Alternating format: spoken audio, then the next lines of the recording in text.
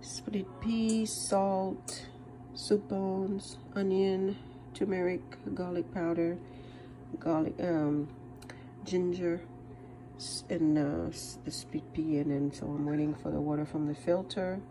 Put it in the pressure cooker, and then I'm going to be peeling these and preparing them for soup.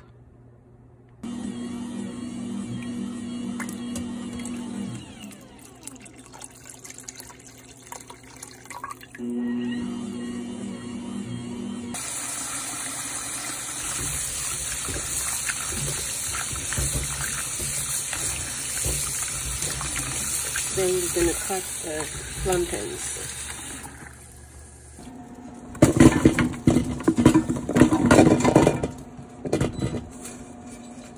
Uh,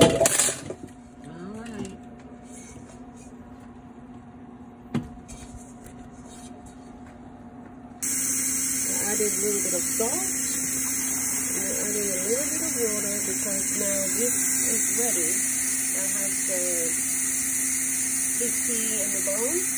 So there will be good water, good broth in here. But then I want to get this started. Okay, just a little bit of water. Okay.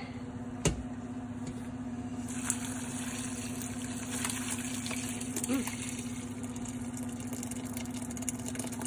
Okay.